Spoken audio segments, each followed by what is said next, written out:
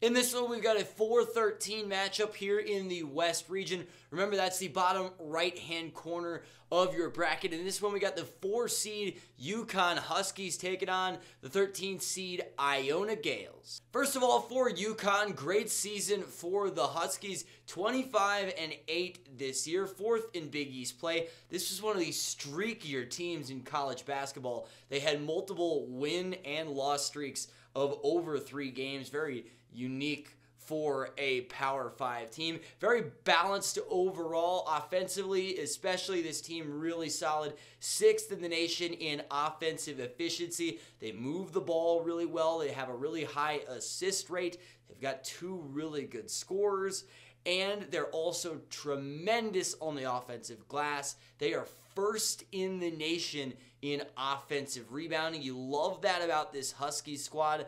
Defensively, they're really solid as well. 18th in the nation in defensive efficiency. Again, that 1 2 scorer duo, Jordan Hawkins on the outside is a terrific scorer shooter. He can get really hot from the three point line for the Huskies. And then in the middle, Adama Sanogo is terrific as well. He is an absolute paint beast and can be a monster on the offensive glass. I think in this matchup particularly, he might end up dominating the glass. The only problem I have with this UConn squad is they can be inconsistent sometimes, right? And we've seen that with their win and loss streaks throughout the year. I think this UConn team has the talent and makeup to go on a Final Four run. It's just can they put it all together for four games consistently in a row. I'm just not so sure. For the Iona Gaels, what a season for Rick Pitino's squad. 27 and 7 this year. They win the Metro Atlantic Athletic Conference, the MAAC. They've won 14 games in a row coming into this tournament. This team really solid on the defensive end. They're 67th in the nation in defensive efficiency. They're especially good at guarding that three-point line. 8th in the nation in that regard.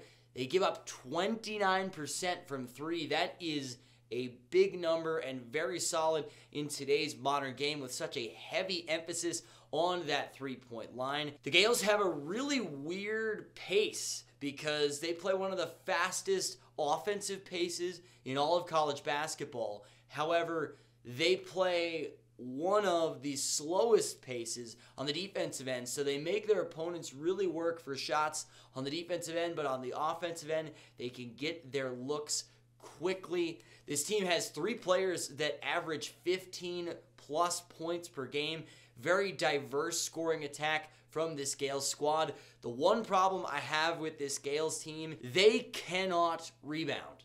They are one of the worst defensive rebounding teams in the country. A lot of that is because they want to get out and run. And that's going to bite them in the butt in this game because UConn is so good on the offensive glass that unless the Gaels absolutely crash the glass for 40 minutes, they are going to get killed in this game on second chance points. Now, I think the glass is really going to be the deciding factor in this game. If UConn dominates the offensive glass, gets a bunch of second chance points, Iona's got no shot in this game. However, if they put an emphasis on crashing the glass, maybe limiting themselves in transition a little bit, but it's a little bit of a give and take there. You got to box out, you got to get rebounds to put an emphasis on that side of the basketball. If they can do that, they can keep this game close because they're good enough offensively and they're really solid defensively, especially guarding that three point line. In the end, if I had to put this on the upset scale, I'd say this is somewhere between an unlikely upset and let's talk about it. I think Iona's a really good team. I just can't get over the fact that they are so bad on the defensive glass and UConn is so good on the offensive glass. So for that reason, I'm going to go with the UConn Huskies to get by Rick Pitino's squad and move on to the second round.